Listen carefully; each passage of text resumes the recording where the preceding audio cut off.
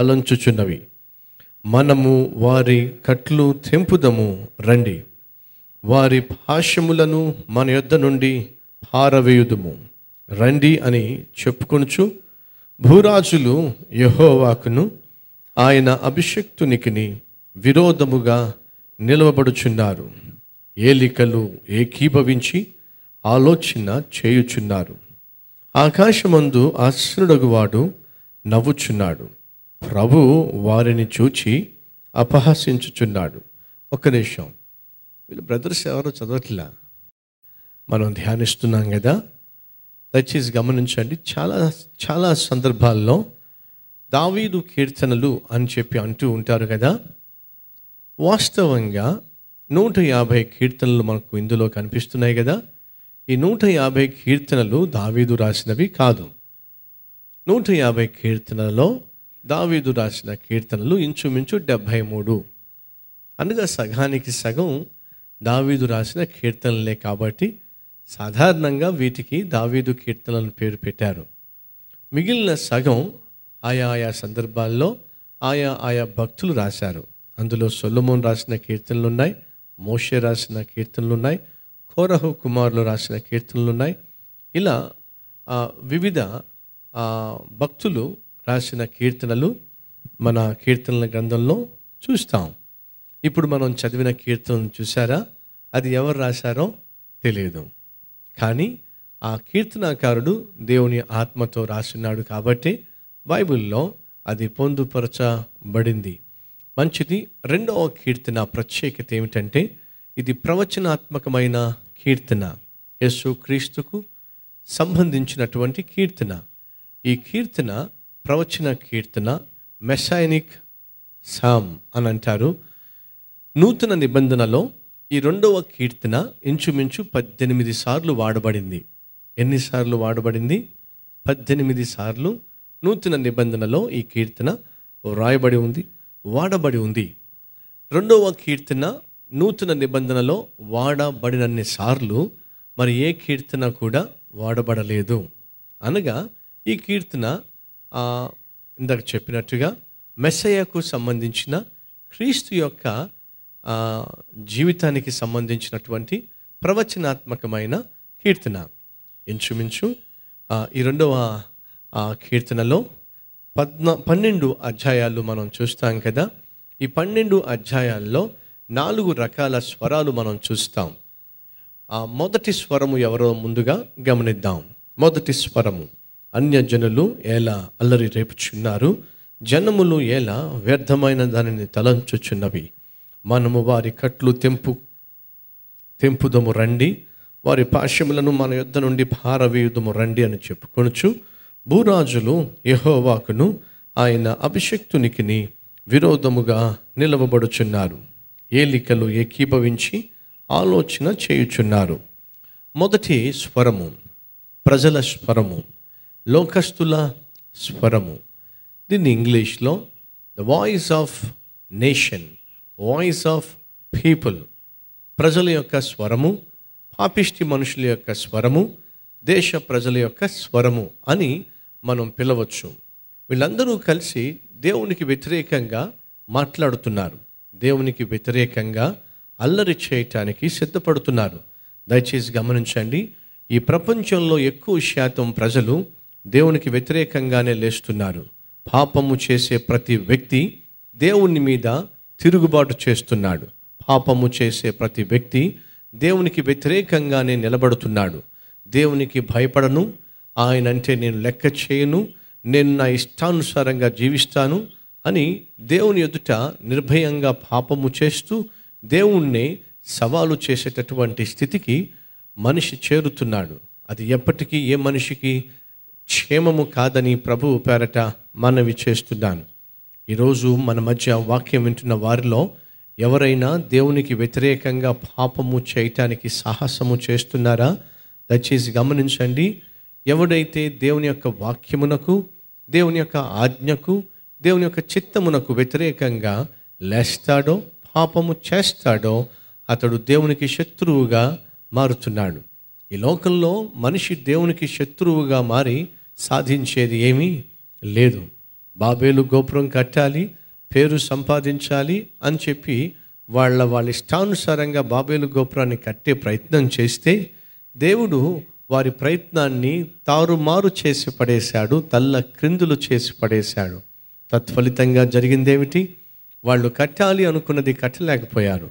ఇస్రాయేలు ప్రజలు సైన్యమునకు అధిపతి యొక్క యహోవానే సేవించటానికి బదులుగా యహోవాను విసర్జించి బయలుదేవతలను సృష్టిని పూజించటం మొదలుపెట్టినప్పుడు దేవుడు వారిని విసర్జించను అని బైబిల్లో ఉంది.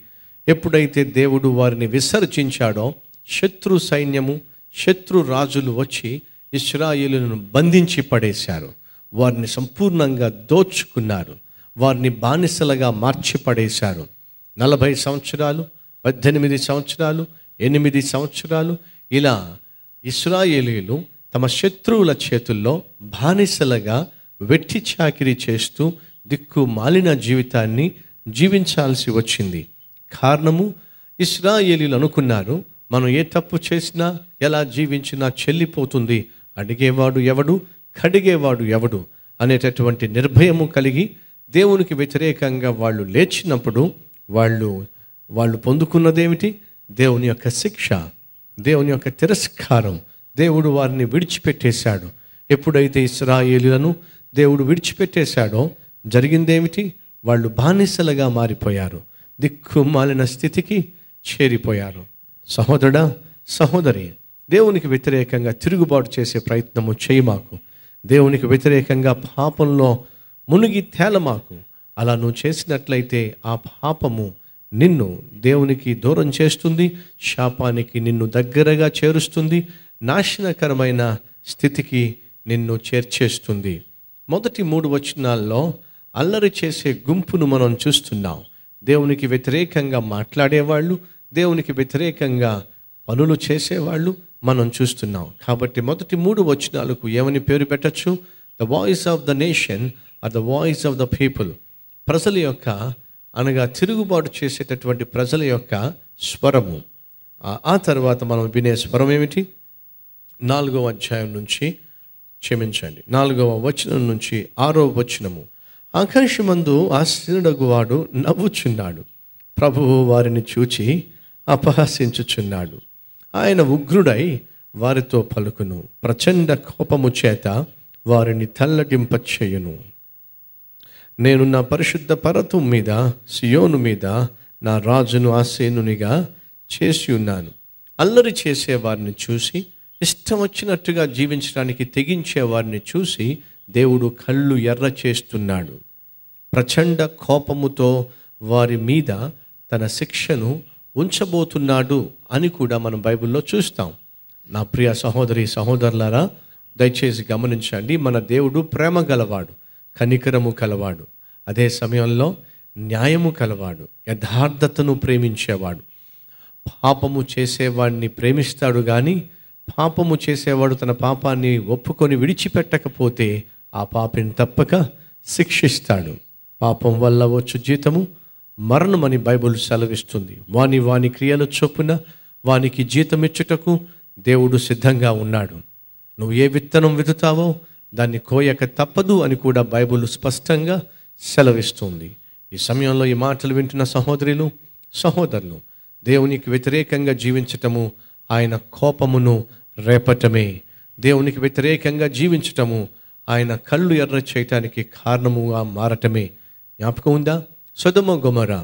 దేవునికి వ్యతిరేకంగా పాపము చేసినప్పుడు ఇష్టం వచ్చినట్టుగా వారు తమ శరీరాల్ని పాపానికి పురికొల్పినప్పుడు జరిగిందేమిటి? దేవుని యొక్క కోపము హఠాత్తుగా సదమ గమోర మీద కుమ్మరించబడిను. అగ్ని గంధకములతో ఆ పట్టణములు రెండు కూడా కాల్చివేయబడినాయి.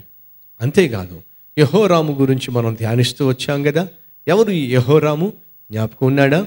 యహోషపాతు యొక్క కుమారుడు. యహోషపాతు కుమారుడు ఏం చేశాడు? దేవునికి వ్యతిరేకంగా జీవించాడు.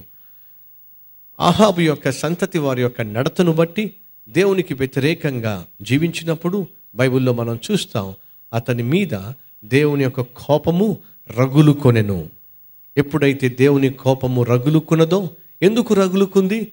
ఆ యహోరాము చేసిన పాపిష్టి పనులు దేవునికి కోపాన్ని పుట్టించినాయి. ఎప్పుడైతే దేవుని యొక్క కోపము యహోరాము మీద పుట్టినో జరిగిందేమిటి? కుదరని వ్యాధితో అతడు మొత్తబడ్డాడు. కుదరని వ్యాధి అతన్ని పట్టుకుంది. ఉదరమున అతనికి వ్యాధి వచ్చేసింది. బాగు చేసేవాడు లేడు. వైద్యము చేసేవాడు లేడు. నయం చేసేవాడు లేడు. మరలా సింహాసనం మీద కూర్చోబెట్టేటటువంటి హక్కు అధికారం ఏ ఒక్కడికి లేదు. ఆఖరికి ఏమైంది? యహోరాము చంపబడ్డాడు. దేనితో? కుదరని వ్యాధితో.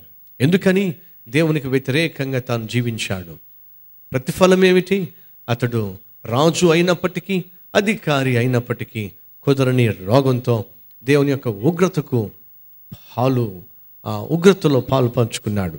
రాజువైనా అధికారివైనా ఎవరివైనా దేవునికి వ్యతిరేకంగా జీవిస్తే దేవుడు కళ్ళు ఎర్ర చేస్తాడని శిక్షిస్తాడని బైబుల్ సెలవిస్తుంది. సహోదరిలో సహోదరులు మనం పరిశుద్ధులుగా ఉండటానికి పిలువబడ్డాం.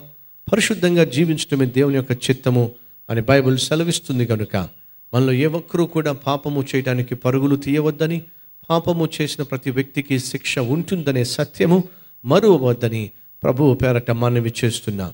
మొదటిగా మనం చూస్తున్న స్వరము ఎవరిది? అల్లరి చేసేవారిది పాపము చేసేవారిది. దేవునికి వ్యతిరేకంగా జీవించే వారి యొక్క స్వరాన్ని మొదటి మూడు వచనాల్లో చూస్తున్నాం. మరి ఆ తర్వాత స్వరము ఎవరిది? పాపిష్టి మనుషులు చేసిన పాపాన్ని చూస్తూ చూస్తూ శిక్ష విధించేటటువంటి దేవుని స్వరాన్ని తండ్రి అయిన దేవుని స్వరాన్ని మనం చూస్తున్నాం. మరి ఆ తర్వాత మనకు కనిపించే స్వరము వినిపించే స్వరము ఎవరిదో చూద్దాం రండి. ఏడో వచ్చినము కట్టడను నేను వివరించదను. కట్టడను నేను వివరించదను. యహోవా నాకు ఇలాగూ సెలవిచ్చాను. నీవు నా కుమారుడవు. నేడు నిన్ను కని ఉన్నాను యహోవా నాకు ఈ విధంగా సెలవిచ్చాడు. యహోవా నాకు ఈ మాట చెప్పాడు. తండ్రి నాతో ఇలా అన్నాడు. అంటే అర్థం ఏమిటి చెప్పండి? తండ్రి నాతో ఇలా అన్నాడు. అంటే అర్థం ఏమిటి? ఆ మాట అంటుంది ఎవరు? కుమారుడే కదా. ఏమన్నాడట తండ్రి? నీవు నా కుమారుడవు. నేను నిన్ను కని ఉన్నాను. ఇది ఎవరి స్వరమో తెలుసా? ప్రభు అయిన యేసుక్రీస్తు యొక్క స్వరము. ఇందాక మనం చూసింది యహోవా స్వరము. అది తండ్రి అయిన దేవుని యొక్క స్వరము. ఇప్పుడు మనం చూస్తుంది ప్రభు యేసుక్రీస్తు స్వరము. ఎందుకని? ఆయనే కదా దేవుని ప్రియ కుమారుడు. ఆయనే కదా దేవుని చేత ఏర్పరచబడిన అద్వితీయ కుమారుడు. ఏమంటున్నాడో చూద్దాం రండి. యహోవా నాకు ఇలాగ సెలవిచ్చాను. నీవు నా కుమారుడవు. నేడు నిన్ను కనియున్నాను. నన్ను అడుగుము. జనములను నీకు స్వాస్థ్యముగాను భూమిని దిగంతముల వరకు సొత్తుగాను ఇచ్చేదను. ఇనుప దండముతో నీవు వారిని నలగగొట్టెదవు కుండను పగలగొట్టినట్టు వారిని ముక్కలు చెక్కలుగా పగలగొట్టెదవు. ముక్కలు చెక్కలుగా పగలగొట్టెదవు. యేసుక్రీస్తు యొక్క రాజ్య పరిపాలన గురించి ఈ మాటలు రాయబడినాయి. యేసుక్రీస్తు ఆ దేవునికి ప్రియకుమారుడని మీ జ్ఞాపకం ఉందా యేసుక్రీస్తు బాప్తిజం తీసుకొని ఆయన నీళ్ళల్లోంచి బయటకు వస్తున్నప్పుడు పరిశుద్ధాత్మ పరిశుద్ధాత్ముడు పావురం వలె ఆయన మీదకి వచ్చి వాలడము. అదే సమయంలో ఆకాశంలో ఒక గొప్ప శబ్దము ప్రజలు విన్నారు. ఏమిటి? ఈయన నా ప్రియ కుమారుడు. ఈయన ఎందు నేను ఆనందించుచున్నాను. ఎంత చక్కని మాట. ఇదే మాట యహోవా నాతో చెప్పాడు అని చెప్పి కీర్తనాకారుడు యేసుక్రీస్తుని గురించి రాయటం ఎంత అద్భుతం. అందుకే ఇది ప్రవచనాత్మకమైన కీర్తన. ఇప్పుడు మనం వింటుంది యేసుక్రీస్తు యొక్క స్వరము. మూడవ యొక్క వ్యక్తి యొక్క స్వరము. యేసుక్రీస్తు భూమి మీద ఉన్నంత కాలము తండ్రి అయిన దేవునికి ప్రియమైన కుమారుడిగా ఉన్నాడు. ప్రియ సహోదరుడా ప్రియ సహోదరి అందరూ ప్రియమైన కుమారులుగా ఉండగలరా? ఏమండి? యాకోబుకు చాలామంది కుమారులు ఉన్నారు అందరూ ప్రియమైన కుమారులేనా? కాదు. ఒక్కడే ప్రియమైన కుమారుడు. ఎవరు ఆ ఒక్కరు? నీతిగా యథార్థంగా తండ్రికి అనుకూలంగా జీవించిన యోసేపే ప్రత్యేకంగా ప్రేమించబడ్డాడు. ఎవరు ప్రేమించబడతారు? ఎవరైతే మాట వింటారో ఎవరైతే లోపడతారో యథార్థంగా జీవిస్తారో వారినే కదా తండ్రి ప్రేమించేది ఆమెనే కదా తల్లిదండ్రులు ప్రేమించేది. ప్రియ సహోదరుడా సహోదరి నీ ఇంట్లో చాలామంది ఉండొచ్చు మన సంఘంలో వేల మంది ఉండొచ్చు. కానీ నా ఆశ నువ్వు వ్యక్తిగతంగా దేవునికి ప్రియమైన కుమారుడిగా ఉండాలి. ప్రియ సహోదరి నువ్వు వ్యక్తిగతంగా దేవునికి ప్రియమైన కుమార్తెగా ఉండాలి. ఒక వ్యక్తి ప్రియమైన కుమారుడిగా కుమార్తెగా ఉండాలంటే ఏం చేయాలి? దేవుడు ఆశించినట్టుగా జీవించాలి. క్లాస్లో చాలామంది స్టూడెంట్స్ ఉంటారు. కానీ టీచర్ ఎవరిని ఎక్కువగా ప్రేమిస్తుంది ప్రేమిస్తాడు? ఎవరిని ఎక్కువగా ఎవరి పట్ల ఎక్కువ శ్రద్ధ వహిస్తారు? క్రమంగా క్లాస్కి వచ్చి చక్కగా పాఠాలు నేర్చుకుని చక్కగా హోంవర్క్ చేసి చదువు పట్ల ఎవరైతే శ్రద్ధ వహిస్తారో శ్రద్ధ చూపిస్తారో వారి పట్లే కదా టీచర్ కానీ మాస్టర్ కానీ శ్రద్ధ చూపించేది. వారి పట్లే కదా ఎక్కువ కేర్ తీసుకునేది. ఈరోజు నువ్వు వాక్యం పట్ల శ్రద్ధ వహించేవాడివైతే దేవుని పట్ల దేవుని మాట పట్ల శ్రద్ధ వహించేవాడివైతే వహించే దానివైతే దేవుడు నిన్ను ప్రేమిస్తాడు. తన ప్రేమను నీకు చూపిస్తాడు. లేదా ఆ ప్రేమను నువ్వు అనుభవించగలుగుతావు. మన దేవుడు అందరినీ సమానంగానే ప్రేమిస్తాడు కానీ ఎవరైతే వాక్యానికి లోబడతారో వాక్యానుసారంగా జీవిస్తారో వారు ఆ ప్రేమను అనుభవిస్తారు. యేసుక్రీస్తు తన తండ్రికి సంపూర్ణంగా లోబడ్డాడు కాబట్టి సంపూర్ణంగా తండ్రి ప్రేమను అనుభవించాడు. ఆ తరువాత పదవ వచనం నుంచి పన్నెండవ వచనము నాలుగవ స్వరము. ఏమిటి ఆ నాలుగవ స్వరము? The voice of the holy spirit పరిశుద్ధాత్మ దేవుని యొక్క స్వరాన్ని మనం చూస్తాం. కాబట్టి రాజులారా వివేకులై ఉండుడి భూపతులారా బోధనందుడి భయభక్తులు కలిగి యహోవాను సేవించుడి. గడగడ వణుకుచు సంతోషించుడి. ఆయన కోపము త్వరగా రగులు కొనును. కుమారుని ముద్దు పెట్టుకొనుడి. లేని ఎడల ఆయన కోపించును. అప్పుడు మీరు త్రోవ తప్పి నశించిపోతారు. ఆయనను ఆశ్రయించు వారందరూ ధన్యులు. మంచిది. ఇప్పుడు మనం చూస్తున్న స్వరము వింటున్న స్వరము పరిశుద్ధాత్మ స్వరము. ఎందుకు పరిశుద్ధాత్మ స్వరము అని అంటున్నానంటే నెహమ్య గుమ్మములను నిలబెట్టినప్పుడు దారగుమ్మాన్ని నిలబెట్టాడు. దారగుమ్మము దేనికి సూచన? పరిశుద్ధాత్మ దేవునికి సూచన. మన హృదయంలో నుంచి జీవపు ధారలు ప్రవహించును గనుక అని అంటూనే ధారలు అనే మాటకు యేసుక్రీస్తు యొక్క భావం ఏమిటంటే పరిశుద్ధాత్మ వారు పొందుకోబోతున్న ఆత్మను గురించి ఆయన ఈ విధముగా పలికెను అని కూడా ఉంది కదా. ధారగుమ్మము పరిశుద్ధాత్మ దేవునికి సూచన. పరిశుద్ధాత్మ దేవునికి సూచన అయిన దారగుమ్మాన్ని వారు నిలబెట్టిన తరువాత నిలబెట్టిన గుమ్మం పేరేంటి తెలుసా మీకు? నీటి గుమ్మము. దారగుమ్మం అయిపోయిన తర్వాత నీటి గుమ్మాన్ని మనం చూస్తున్నాం కదా నీటి గుమ్మము దేనికి సూచన? వాక్యమునకు సూచన. పరిశుద్ధాత్మ దేవుడి ఈ లోకానికి ఎందుకు పంపించబడ్డాడు? మనలను సత్యములోనికి పంపించటానికి సత్యములోనికి నడిపించటానికి ఆయన పంపించబడ్డాడు. ఆయన వచ్చినప్పుడు అనగా పరిశుద్ధాత్మ దేవుడు వచ్చినప్పుడు మనలను సర్వ సత్యములోనికి నడిపిస్తాడు అని ప్రభువే సెలవిచ్చాడు. సత్యములోనికి నడిపిస్తాడు. ఎవరు ఈ సత్యము? యేసుక్రీస్తే ఆ సత్యము. నేనే మార్గము నేనే జీవము నేనే సత్యము. అనగా పరిశుద్ధాత్మ దేవుడు ఒక వ్యక్తిని సత్యములోనికి క్రీస్తులోనికి నడిపించటమే పరిశుద్ధాత్మ దేవుని యొక్క పని. మనందరినీ కూడా క్రీస్తు రూపములోనికి తేవటమే పరిశుద్ధాత్మ దేవుని యొక్క పని. కాబట్టి ఈ మూడు వచనాల్లో మనం చూసేది ఏమిటయ్యా అంటే వినేది ఏమిటయ్యా అంటే పరిశుద్ధాత్మ దేవుని యొక్క పని. ఏమిటి? పరిశుద్ధాత్మ దేవుని యొక్క స్వరము. ఏమిటి? భూ భూరాజులారా అధిపతులారా బోధను నొందుడి వినండి. భయభక్తులు కలిగి యహోవాను సేవించండి. గడగడ వణుకుచు సంతోషించండి. కుమారుణ్ణి ముద్దు పెట్టుకోండి. కుమారుణ్ణి ముద్దు పెట్టుకోండి. లేకపోతే ఆ తండ్రి కోపగిస్తాడు. కుమారుణ్ణి ముద్దు పెట్టుకోండి. ఎవరు ఆ కుమారుడు? ఇందాక చదివాం కదా నీవు నా కుమారుడువు. నీవు నా ప్రియమైన కుమారుడువు. ఎవరు ఆ ప్రియమైన కుమారుడు? ప్రభువైన యేసుక్రీస్తే. పరిశుద్ధాత్మ దేవుడు బోధిస్తున్నాడు నశించిపోతున్న లోకానికి. ఏమని? ప్రియమైన క్రీస్తును ముద్దు పెట్టుకోండి.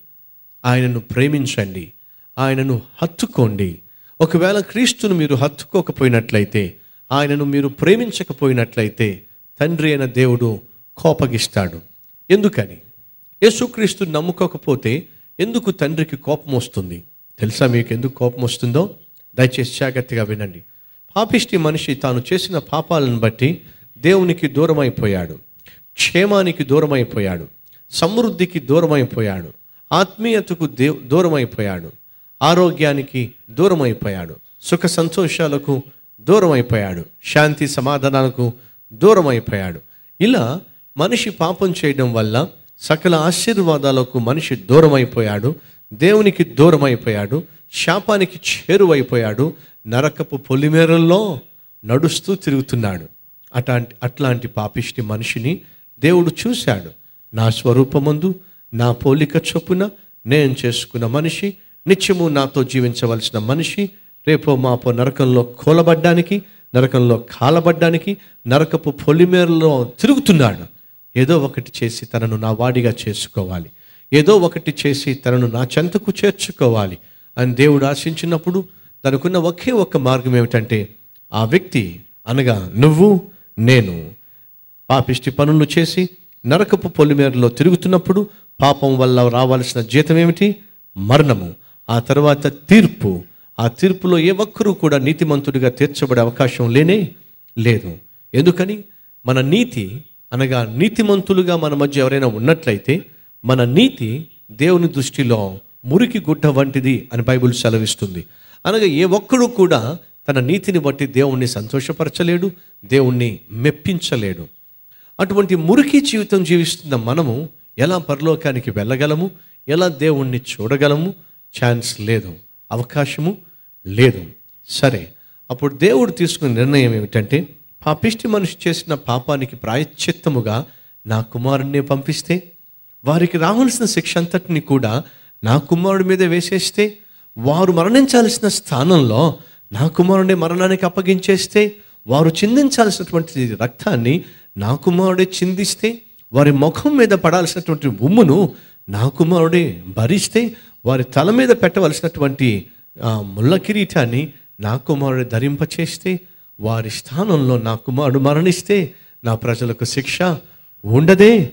కాబట్టి నా ప్రియమైన కుమారుణ్ణి నా ప్రియమైన కుమారుణ్ణి నేను వారి కొరకు పంపిస్తా. బైబుల్ సెలవిస్తుంది ఆయన అనగా ప్రభు అయిన యేసుక్రీస్తు దేవునితో సమానముగా ఉండే భాగ్యాన్ని.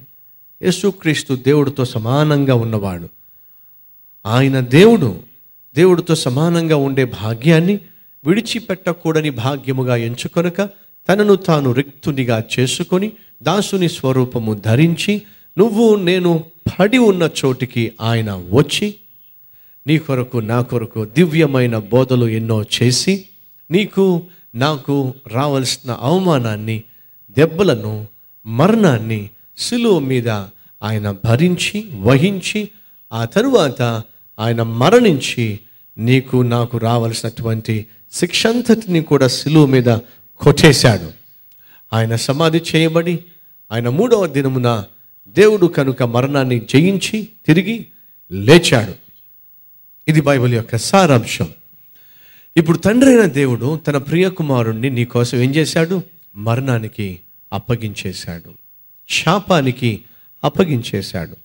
పదివేలల్లో అతి కాంక్షణీయుడు పదివేలల్లో అతి సుందరుడు అయిన తన కుమారుణ్ణి స్వరూపమైనను స్వరూపమైనను లేనివాడిగా రూపే రూపే పూర్తిగా మారిపోయే విధంగా తన కుమారుని యొక్క మోమును చిత్రవద చేసినప్పుడు ఆ తండ్రి భరించాడు.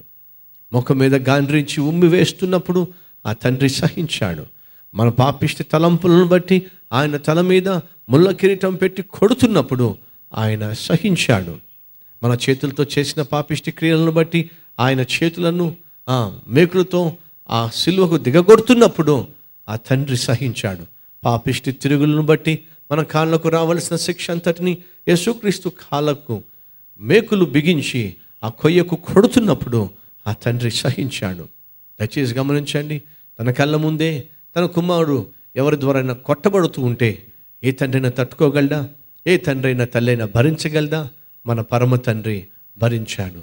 తన కళ్ళ ఎదుటే ఆ పిష్టి మనుషులు ముష్కరులు తన చేతులతో చేయబడిన వాళ్ళు తన ప్రియ కుమారుని చిత్రవదకు గురి చేస్తూ ఉంటే తండ్రి అయిన దేవుడు మౌనంగా సహించాడు. ఎందుకని? ఒకవేళ ఆ రోజు ఆ దేవుడు సహించకపోతే ఈరోజు మనం ఇక్కడ కూర్చునే వాళ్ళం కాదు. పరలోకానికి చేరే అవకాశాన్ని పొందుకునే వాళ్ళము కాదు. జాగ్రత్తగా వినండి. మనం రక్షించబడ్డానికి దేవుని దగ్గర ఉన్నది ఒకే ఒక్క మార్గం ఏమిటయ్యా అంటే నీకు నాకు రావాల్సిన శిక్ష అంతటిని కూడా తన ప్రియకుమారుని యేసుక్రీస్తు భుజం మీద మోపట్టమే శిక్షకు తన ప్రియకుమారుని అప్పగించటం ద్వారా మనను దేవుడు రక్షించుకోగలిగాడు. రక్షణ మార్గాన్ని మనకు చూపించగలిగాడు. అనగా ఏ కుమారుడనైతే నీ నా రక్షణ కోసం దేవుడు త్యాగం చేశాడో ఆ కుమారుని మనం పట్టించుకోకపోతే ఆ కుమారుని మన సొంత రక్షకునిగా అంగీకరించకపోతే ఆ కుమారుని మనం స్వీకరించకపోతే తండ్రి ఎలా తట్టుకుంటాడు? తండ్రి ఎలా భరించగలడు? మీ పాపిష్టి జీవితం కోసం మీకు రావాల్సిన శిక్ష కొరకు మీకు రావాల్సిన శిక్షను తప్పించుట కొరకు నా కుమారుణ్ణి నేను త్యాగం చేస్తే నా కుమారుణ్ణి మీకోసం మీ స్థానంలో మరణానికి అప్పగిస్తే నా కుమారుణ్ణి మీరు పట్టించుకోరా? నా కుమారుణ్ణి మీరు లెక్క చేయరా? బైబిల్లో మనం చూస్తాం ఏమని? కుమారుణ్ణి ముద్దు పెట్టుకునుడి లేని ఎడల ఆయన కోపించును. దేవునికి కోపం పుట్టించేది ఈ లోకంలో ఏదైనా ఉన్నది అంటే అది ప్రప్రథముగా ఎవడైతే యేసుక్రీస్తును నిర్లక్ష్యం చేస్తాడో ఎవరైతే యేసుక్రీస్తును రక్షకునిగా అంగీకరించకుండా విర్రవీగుతాడో ఆ వ్యక్తి దేవుని యొక్క కోపాన్ని రేపుతున్నాడు అనే సత్యము మర్చిపోవద్దని ప్రభువు పేరట మనవి చేస్తున్నాను. ఒకనొక సమయంలో ఈ స్టోరీని నేను చాలా కాలం క్రితం చెప్పాను. మరలా చెప్తున్నాను. ఒకనొక సమయంలో ఒక తండ్రి కుమారుడు కలిసి చేపలు పట్టడానికి సముద్రంలోకి వెళ్దామని చెప్పి ఆలోచన చేస్తున్నప్పుడు ఆ కుమారుని యొక్క స్నేహితుడు వచ్చి నేను కూడా చేపలు పట్టడానికి వస్తే నన్ను తీసుకెళ్తారా? అని రిక్వెస్ట్ చేశాడు. ఆ కుమారుడు అడిగాడు డాడీ తీసుకెళ్దామా నా ఫ్రెండ్ని? అంటే సరే తీసుకెళ్దాం. ఆ తండ్రి కుమారుడు కుమారుడు యొక్క స్నేహితుడు ముగ్గురు కలిసి ఆ మర బోటులో వాళ్ళు సముద్రంలోకి వెళ్ళి చేపలు పట్టే ప్రయత్నం చేస్తున్నారు. అలా చేపలు పడుతున్న సమయంలో అనుకోకుండా వాతావరణం మారిపోయింది. అలలు ఎగసి ఎగసి పడుతున్నాయి. వాతావరణం మారిపోవడం తుఫాను యొక్క వాతావరణం కమ్ముకోవడం అలలు ఎగసి ఎగసి పడడం వల్ల వాళ్ళు ఎంతో త్వరగా ఎంతో త్వరగా గట్టుకొచ్చేయాలని చెప్పి ప్రయత్నం చేస్తున్నారు. కానీ అప్పటికే వాళ్ళు చాలా లోపలికి వెళ్ళిపోయారు. అలలు పైకి పైకి లేస్తున్నాయి ఎగసి ఎగసి పడుతున్నాయి. ఈ అలల తాకిడికి వారి చిన్న బోటు వారి యొక్క చిన్న నావ తట్టుకోలేక అమాంతంగా బోల్తా పడింది ఎప్పుడైతే అమాంతంగా బోల్తా పడిందో ముగ్గురు కూడా నీళ్ళల్లో పడిపోయారు. తండ్రికి ఈతొచ్చు కుమారునికి ఈత రాదు కుమారుని స్నేహితుడికి కూడా ఈత రాదు. ఈ అలల తాకిడిలో ముగ్గురు మూడు పక్కకు కొట్టుకుని పోతున్నారు. కొడుకు గట్టి గట్టిగా అరుస్తున్నాడు. నానా నన్ను కాపాడు. నానా నేను చచ్చిపోతున్నాను. నానా నేను మునిగిపోతున్నాను. నాకు ఈత రాదు? నన్ను కాపాడు. అని తండ్రి అని కుమారుడు గట్టి గట్టిగా అరుస్తున్నాడు. మరొక వైపు నుంచి ఆ కుమారుని స్నేహితుడు అంకుల్ నన్ను కాపాడు అంకుల్. నేను మునిగిపోతున్నాను అంకుల్. నేను చచ్చిపోతున్నాను అంకుల్. Help me uncle. అని చెప్పి ఆ కుమారుడు స్నేహితుడు కూడా అరుస్తున్నాడు. అడుగుతున్నాను ఒకవేళ నువ్వు తండ్రివైతే ఎవరిని కాపాడే ప్రయత్నం చేస్తావు? కుమారుణ్ణి కాపాడే ప్రయత్నం చేస్తావా? లేకపోతే ఆ కుమారుని స్నేహితుడిని కాపాడే ప్రయత్నం చేస్తావా? ఆ తండ్రి ఇరు ఇరువైపులు చూస్తున్నాడు. ఒకవైపు స్నేహితుడు కుమారుడు. ఒకవైపు కుమారుని స్నేహితుడు మరొక వైపు కుమారుడు. ఇద్దరి కేకల మధ్య ఈ ఇద్దరి ఆర్తనాదముల మధ్య ఆ తండ్రి ఉక్కిరి బిక్కిరి అవుతున్నాడు. ఒకవైపు తండ్రి ప్రేమ బలవంతం చేస్తూ ఉండగా తన కుమారుని రక్షించుకోవాలని ఆశపడుతున్నప్పుడు మరొక వైపు నుంచి అంకుల్ అంకుల్ నాకు ఈత రాదు అంకుల్ చచ్చిపోతున్నాను అంకుల్ ప్లీజ్ అంకుల్ అని అరుస్తూ ఉంటే మరలా ఇటుపక్క వెళ్ళే ప్రయత్నం చేస్తున్నాడు. ఆ ప్రయత్నంలో జరిగిందేంటో తెలుసా? ఆ తండ్రి కుమారుణ్ణి నిర్లక్ష్యం చేశాడు. కుమారుని రక్షించడానికి బదులుగా తను ఆ కుమారుని యొక్క స్నేహితుని వైపుకు ఈతగొట్టుకుంటూ వెళ్తున్నాడు. కుమారుడు అరుస్తున్నాడు డాడీ నేను డాడీ నీ కుమారుణ్ణి. డాడీ నేను డాడీ నీ కుమారుణ్ణి. నన్ను కదా డాడీ నువ్వు రక్షించాల్సింది. నన్ను కదా డాడీ నువ్వు కాపాడాల్సింది అని కుమారుడు అరుస్తూ ఉన్నాడు ఏడుస్తూ ఉన్నాడు. కానీ తండ్రి మాత్రం స్నేహితుడి వైపుకే వెళ్తున్నాడు. ఆ స్నేహితుడిని అమాంతంగా పట్టుకున్నాడు మీద వేసుకున్నాడు. ఈత కొట్టుకుంటూ ఈత కొట్టుకుంటూ ఆ పడవ దగ్గరకు వచ్చి బోల్తో పడిన పడవను అమాంతంగా తిరగవేశాడు. దాన్ని సరిచేశాడు. ఈ స్నేహితుణ్ణి ఆ పడవలో కూర్చోబెట్టాడు. వెంటనే తన కుమారుని రక్షించుకోవాలని చెప్పి ఆ సముద్రంలో నలుదిక్కులా చూశాడు. కనీసం ఆ కుమారుని యొక్క ఆనవాలు కూడా ఆ తండ్రికి కనిపించలేదు. అప్పటికే సహాయము అందక రక్షించవలసిన తండ్రి తను రక్షించక రక్షించకుండా స్నేహితుని రక్షించుకుంటూ ఉంటూ ఉంటే ఆ కుమారుడు చూస్తూ చూస్తూనే నెలలో మునిగిపోయాడు. అక్కడ కుమారుడు చచ్చిపోయాడు. తండ్రి వాస్తవంగా చేయాల్సిందేమిటి? తన కొన్న కన్న కుమారుని రక్షించుకోవాలా? లేకపోతే తన కన కన కుమారుడు తన కుమారుడు యొక్క స్నేహితుని రక్షించాలా? వాస్తవంగా రక్షించాల్సింది తన కుమారుణ్ణి. కానీ ఆ తండ్రి రక్షించింది మాత్రం ఆ కుమారుని యొక్క స్నేహితుణ్ణి. ఎందుకు అలా చేశాడో తెలుసా? ఆ తండ్రి ఓ ఆత్మీయుడు. ఆ కుమారుడు కూడా ఆత్మీయుడే. ఇద్దరూ కూడా జీవము కలిగిన దేవుని యొక్క ప్రేమను తెలుసుకున్న వాళ్ళు ఆ తండ్రికున్న నమ్మకం ఏంటో తెలుసా? నా కుమారుడు రక్షించబడ్డాడు. రక్షించబడ్డాడు కాబట్టి ఒకవేళ మరణిస్తే నా కుమారుడు పరలోకానికి వెళ్తాడు. మరలా మేము నా- మరలా నేను నా కుమారుణ్ణి నేను చూసుకుంటాను కలుసుకుంటాను.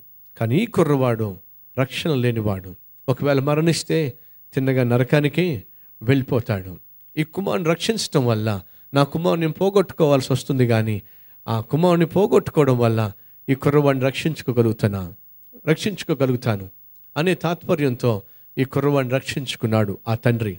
అడుగుతున్నా ఎందుకొరకు ఆ తండ్రి తన కుమారుని త్యాగం చేశాడో తెలుసా? ఈ నశించిపోతున్న కుర్రవాడిని రక్షిస్తే ఆ తర్వాత అతడు క్రీస్తు ప్రేమను తెలుసుకుంటే రక్షించబడితే పరలోకానికి తను కూడా చేరతాడు అనే ఒక అద్భుతమైన ఉద్దేశంతో ఆ కుర్రవాడిని రక్షించాడు. ఈ స్టోరీ ఒకనొక సమయంలో ఒక వ్యక్తి ఒక మందిరంలో చెప్పాడు. ఈ అద్భుతమైన స్టోరీ ఒక పెద్ద మనిషి గడ్డం వేసుకొని బైబిల్ పట్టుకొని కొంచెం భయపడుతూ ఈ స్టోరీని ఒక మందిరంలో చెప్పాడు. స్టోరీ చెప్పిన తర్వాత తను స్టేజ్ మీద దిగి వచ్చిన తర్వాత ఇద్దరు కుర్రవాళ్ళు వెళ్ళి అతనితో మాట్లాడుతూ అంకుల్ మీరు చెప్పిన స్టోరీ బాగుంది కానీ వినడానికి బాగుంది కానీ అది వాస్తవంలో పెట్టడం అంత ఈజీ కాదేమో అన్నాడు. ఏ? ఎందుకు అది వాస్తవం కాదు? ఏమీ లేదు అంకుల్. ఆ తండ్రి తన కుమారుని త్యాగం చేశాడు కదా అవును త్యాగం చేశాడు. ఎందుకు త్యాగం చేశాడు? ఈ కుర్రవాడు ఒకవేళ చచ్చిపోతే నరకానికి వెళ్తాడని. కాబట్టి ప్రాణాలు తెగించి రక్షించాడు కదా కాపాడాడు కదా అవును. ఒకవేళ ఈ కుర్రవాడు ఈ కుర్రవాడు నీటి గ్రంథం నుంచి బ్రతికించబడిన తరువాత ఆ నీటి ప్రమాదం నుంచి బ్రతికించబడిన తరువాత ఒకవేళ రక్షించబడకపోతే ఒకవేళ దేవుణ్ణి పట్టించుకోకపోతే ఒకవేళ దేవుణ్ణి తిరస్కరిస్తే అప్పుడు ఆ తండ్రి చేసిన త్యాగానికి ఏదైనా అర్థం ఉంటుందా? నా మాట మీకు అర్థమైందా? ఒకవేళ మీరు అన్నట్టుగా ఆ తండ్రి తన కుమారుని త్యాగం చేసుకొని ఈ కుర్రవాడిని ప్రాణాలతో కాపాడాడు బాగుంది. ఎందుకు కాపాడాడు ప్రాణాలతో? ఏదో ఒకరోజు రక్షించబడి క్రీస్తును సొంత రక్షకునిగా అంగీకరించి పాపక్షమాపణ పొందుకొని పరలోకానికి వెళ్తాడనే కదా? అవునయ్యా. మరి కుర్రవాడు ప్రాణాలతో కాపాడబడిన తరువాత ఆ దేవుని రక్షకుడిగా అంగీకరించకపోతే? మారు మనసు పొందకపోతే? అప్పుడు ఆ తండ్రి చేసిన త్యాగానికి ఏమైనా ప్రతిఫలం ఉంటుందా? ఎంత అద్భుతమైన ప్రశ్న. ప్రియ సహోదరులు సహోదరులు మనం అందరం కూడా రక్షించబడతామని మనం అందరం కూడా ప్రియకుమారుని యేసుక్రీస్తుని ముద్దు పెట్టుకుంటామని ఆయన అనుగ్రహించే క్షమాపణ పొందుకుంటామని తండ్రి అయిన దేవుడు ఎంతో నమ్మి తన కుమారుని మరణానికి అప్పగించాడు. అంత త్యాగము చేసి తన కుమారుణ్ణి మరణానికి దేవుడు అప్పగించాడే.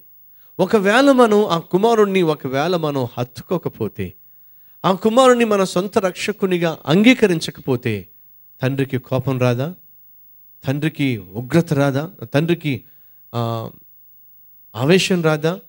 నువ్వు రక్షించబడతావని నువ్వు బాగుపడతావని నేను ఎంతో నమ్మి నా కుమారుని మరణానికి అప్పగిస్తే నీ ఇష్టానుసారంగా నువ్వు జీవిస్తావా? పాపంలో తైతెక్కులాడతావా పాపిష్టివాడిగా నేను జీవిస్తావా? నీ సంగతి చూస్తా నాగు అని చెప్పి తండ్రి అయిన దేవుడు కోపగించడా? తండ్రి అయిన దేవుడు ఆ వ్యక్తిని శిక్షించడా? ఇదే విషయాన్ని ఆ కుర్రవాళ్ళు ఆ అంకుల్తో చెప్పారు. ఒకవేళ ఆ కుర్రవాడు మారు మనసు పొందకపోతే ఆ తండ్రి చేసిన త్యాగము వ్యర్థమే కదా అని అంటున్నప్పుడు ఆ పెద్ద మనిషి ఎవరైతే ఆ గడ్డం పెట్టుకొని బైబుల్ని ఇలా తన గుండెకు హత్తుకొని వారు వింటు అంటున్న మాటలు జాగ్రత్తగా వింటున్నాడో ఆ పెద్ద మనిషి యొక్క కళ్ళల్లో నుంచి కన్నీళ్ళు జల జల జల జల రాలుతూ ఉన్నాయట. ఆ కుర్రవాళ్ళు కళ్ళల్లోంచి కన్నీళ్ళు వస్తున్నటువంటి పెద్ద వ్యక్తిని చూసి అయ్యా ఎందుకు మీరు మీరు ఏడుస్తున్నారు? అని అంటే ఆ బైబిల్ పట్టుకున్న వ్యక్తి అంటున్నాడు ఆ రోజు ఆ రక్షించబడిన కుర్రవాడు ఎవరో కాదు నేనే నన్నే ఆ వ్యక్తి రక్షించాడు. నిజమే మీరు అన్నట్టుగా ఆ తండ్రి తన ప్రా ఆ తండ్రి తన ప్రియ కుమారుడిని పనంగా పెట్టి నన్ను రక్షించకపోతే నేను నరకానికి వెళ్ళిపోయేవాడిని కానీ ఆ తండ్రి తన కుమారుడు ఎలాగూ రక్షించబడ్డాడని చెప్పి తన కుమారుడిని పనంగా పెట్టి నన్ను ఆ రోజు కాపాడాడు. దానికి కృతజ్ఞతగా నేను ఆ దేవుణ్ణి తెలుసుకున్నాను. ఆ దేవుని యొక్క జీవగ్రంథాన్ని పరిశుద్ధ గ్రంథాన్ని మోస్తూ ఈ అద్భుతమైన సాక్ష్యాన్ని ఈ లోకంలో చెప్పుకుంటూ తిరుగుతున్నాను. ఇంతకంటే గొప్ప ధన్యత నాకు మరొకటి లేనే లేదు. సహోదరి సహోదరా సహోదరి సహోదరా ఆ సాక్ష్యం నువ్వు చెప్పగలవా? నిజమే తండ్రి అయిన దేవుడు నన్ను ఎంతో ప్రేమించి నా స్థానంలో తన ప్రియ కుమారుని మరణానికి అప్పగించాడు. నేను రక్షించబడతానని నేను మార్పు చెందుతానని నేను నిత్యము పరలోకంలో ఆయనతో పాటు ఉంటానని ఆ తండ్రి అయిన దేవుడు అద్భుతం చేశాడు. అంత గొప్ప త్యాగం చేశాడు. కాబట్టే ఈరోజు నేను దేవుని బిడ్డగా మారాను. ఈరోజు నేను రక్షించబడ్డాను. ఈరోజు నేను పాప క్షమాపణను పొందుకున్నాను. పరిశుద్ధునిగా నేను జీవిస్తున్నాను. ఇంతకంటే నేను నా ప్రభువుకి ఇవ్వగలిగింది ఏముంది? ఎబ్రిల్ రాసిన పత్రిక రెండవ అధ్యాయము మూడవ వచనంలో ఈ వి- ఈ విధంగా రాయబడి ఉంది. హెబ్రిల్ రాసిన పత్రిక రెండవ అధ్యాయము మూడవ వచనంలో ఈ విధంగా రాయబడి ఉంది. ఏమని రాయబడి ఉంది? ఇంత గొప్ప రక్షణను నిర్లక్ష్యము చేసిన ఎడల ఎలాగూ తప్పించుకుందము? ఇంత గొప్ప రక్షణను నిర్లక్ష్యము చేసిన ఎడల ఎలాగూ తప్పించుకుందము? వాక్యం వింటున్న సహోదరుడా సహోదరి తండ్రి అయిన దేవుడు తన మహాకృపను బట్టి తన ప్రియకుమారుడు యేసుక్రీస్తును మరణానికి అప్పగించటం ద్వారా రక్షణ భాగ్యాన్ని ఉచితంగా మనకు అనుగ్రహించాడు. దీనికి వెల చెల్లించనవసరంలా దీనికి మనం కష్టపడనవసరంలా దీనికి మనం ఎక్కడికెక్కడికో వెళ్ళనవసరంలా డబ్బులు తగిలైన అవసరంలా ఈ ఇచ్చే దేవుడిచ్చే ఈ ఉచిత రక్షణ ఉచితంగా మనం పొందుకోవచ్చు. క్రీస్తును సొంత రక్షకునిగా అంగీకరించటం ద్వారా. ఈరోజు ఈ మాటలు వింటున్న సహోదరి సహోదరుడ ప్రభువు పేరట అడుగుతున్నా రక్షించబడ్డావా? తండ్రి దేవుడు ఏ ఉద్దేశంతో తన ప్రియ కుమారుడిని రెండు వేల సంవత్సరాల క్రితం మరణానికి అప్పగించాడో దాని వెనుక ఉన్న అద్భుతమైన ఉద్దేశం ఏమిటో ఆ ఉద్దేశము నీ జీవితంలో నెరవేరిందా? కుమారుణ్ణి ముద్దు పెట్టుకోండి. క్రీస్తును సొంత రక్షకునిగా అంగీకరించండి. లేని ఎడల దేవుడు కోపగిస్తాడు. ఆయన ఉగ్రతను మన మీద కుమ్మరిస్తాడు. తప్పక మనము నరకంలో కూలబడవలసి ఉంటుంది. అలా నువ్వు లేక మనము నరకంలో కూలబడకుండా ఉండాలి అంటే ఆ క్రీస్తును సొంత రక్షకునిగా అంగీకరించాలి. ఆయనను దేవునిగా స్వీకరించాలి. పరిశుద్ధమైన జీవితము జీవించటానికి మనల్ని మనం అప్పగించుకోవాలి. అందుకొరకు ఈరోజు ప్రార్థన చేద్దామా? లెటస్ ప్రే ప్రతి ఒక్కరూ మోకరించండి. మోకరించి ప్రార్థన చేయండి. ప్రియ సహోదరి ప్రియ సహోదరుడా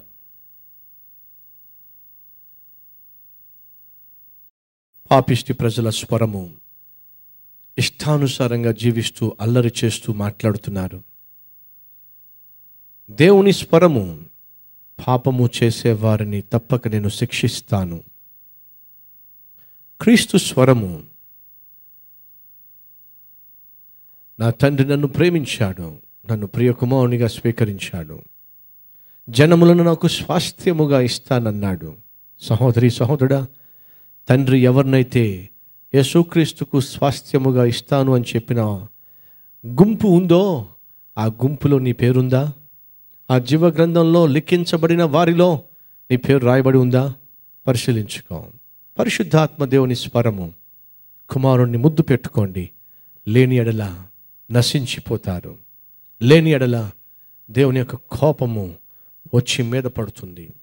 ఈరోజు ఈ వాక్యం వింటున్న ప్రియ సహోదరి ప్రియ సహోదరుడా ప్రభువు పేరట మనవి చేస్తున్నా.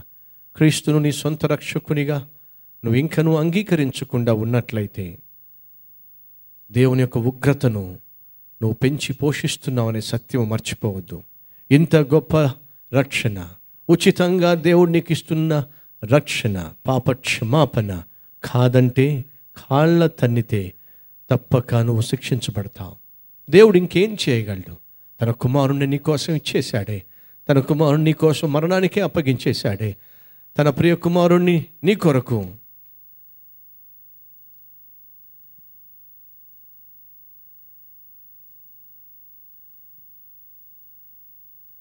నీ కొరకు అప్పగించాడు. కాబట్టి సమయంలో ప్రభువుని అడుగు. ప్రభువా నీ కుమారుడు నా కోసం అప్పగించావు కదా.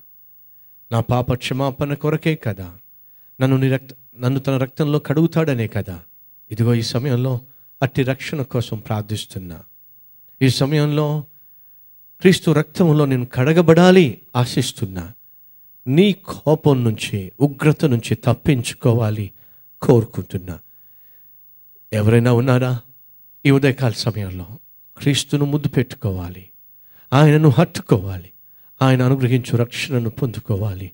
ఆశించేవాళ్ళు ప్రార్థించేవాళ్ళు ప్రభు కనికరము కొరకు క్షమాపణ కొరకు అడిగేవాళ్ళు ఉన్నట్లయితే ఉన్న చోటున మీ హస్తాన్ని ప్రభుకు చూపించండి. ఉన్న చోటనే మీ హస్తాన్ని ప్రభువుకు చూపించండి. మొట్టమొదటిసారిగా మొట్టమొదటిసారిగా ప్రభు మిమ్మల్ని దర్శించినట్లయితే దర్శించినట్లయితే ప్రభు యొక్క ప్రేమ హస్తాలకు మీ హస్తాన్ని అప్పగించుకోండి. మహాపరిశుద్ధుడు అయిన ప్రేమ కలిగిన తండ్రి నీ ప్రియ కుమారుడిగా కుమార్తెగా జీవించాలి అని చెప్పే మీరు మమ్మల్ని పిలిచారు. ఆశ్చర్యకరమైన నీ వెలుగులోనికి మమ్మల్ని పిలిచిన కారణము కారణము మేము నీ బిడలుగా నీ సొత్తుగా యాజకులుగా జీవిస్తామని.